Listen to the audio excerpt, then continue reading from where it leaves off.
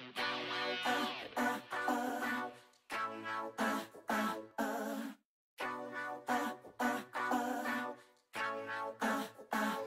Talmud in Shabbat tells us the well-known story of Hillel. Once, a non-Jew approached the famous Hillel and asked him to teach the whole Torah while he stood on one foot.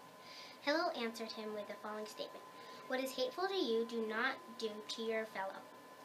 This is the entire Torah, the rest is explanation, go and study it.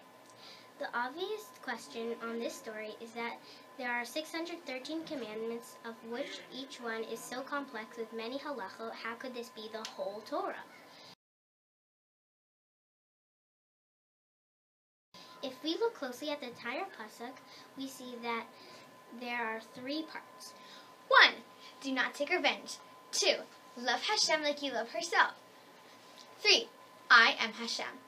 The message of this pasuk is the foundation and the most important part of the Torah. The pasuk starts by telling us not to find fault in others. Everyone has faults within themselves, yet we still love ourselves. Like us, everyone works to improve every day. The same is with others. Look past their faults as you do your own. The third part of the pasuk explains how to treat oneself. Treat yourself the way Hashem wants you to be treated. Since we are all made in the image of Hashem, we need to respect ourselves and others. We see from here how important it is to research both of ourselves and more, our families, our friends, and our families. Shabbat Shalom!